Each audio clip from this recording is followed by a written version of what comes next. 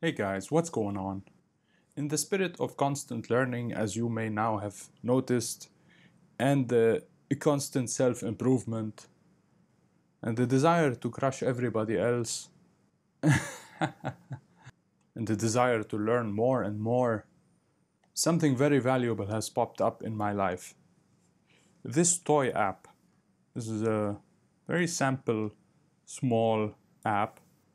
Let's look at what it does my friend and coworker has given me this app that he has worked on. It is entirely complete. It has everything you might think of, all the bells and whistles that you usually hear in our industry lately. They are all here.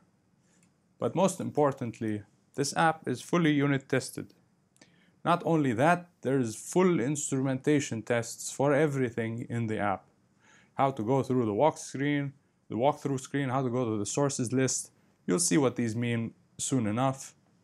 But my hope and desire, and I wish and pray that I will be able to portray these files and uh, pieces of knowledge to you, and by doing so, portray them to myself, of course, in this couple of videos here. This is what I've always been desiring to look at a miniature version with uh, a developer that I can ask right on the spot. He is my friend and coworker, so it'll be very easy but it's so clear even that it doesn't even need that much clarification. looks complicated now, but trust me, how the hell is an app like this going to be complicated? Look what it does. First, it's called RSS Reader. You type in the URL, this is right from the walkthrough screen, to discover this uh, URL feed if you can.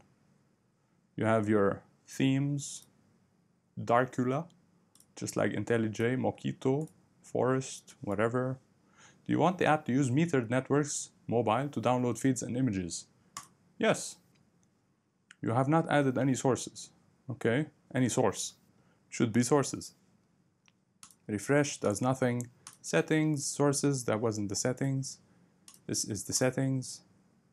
Source refresh interval, five minutes, should be minutes, right. Uh, article images, all right. Metered networks, we already set that. It shows up here, very good open articles inside app, you can have an external web view, okay. This is the forest, this is the one we picked, yes. Mockito also changes here, very beautiful. And you can uh, clear the data right from inside the application. Great, amazing. What else is here? Discover source.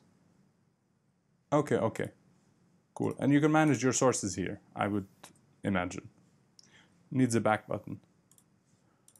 All right, debug. Uh-huh. You can reset the shared preferences here. You can reset the DB here.